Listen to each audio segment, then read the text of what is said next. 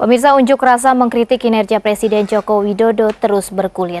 Di Bogor, Jawa Barat, aksi yang dilakukan oleh mahasiswa berlangsung ricuh dan dua mahasiswa yang dianggap sebagai provokator diamankan petugas.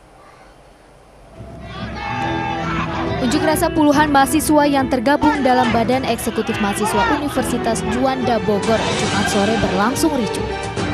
Lantaran dianggap mengganggu ketertiban umum, para mahasiswa yang menggelar aksi di tengah jalan raya di depan akses masuk tol Ciawi Bogor, Jawa Barat ini langsung dibubarkan oleh petugas. Tak hanya membubarkan aksi, polisi juga mengamankan dua orang mahasiswa yang dianggap sebagai provokator.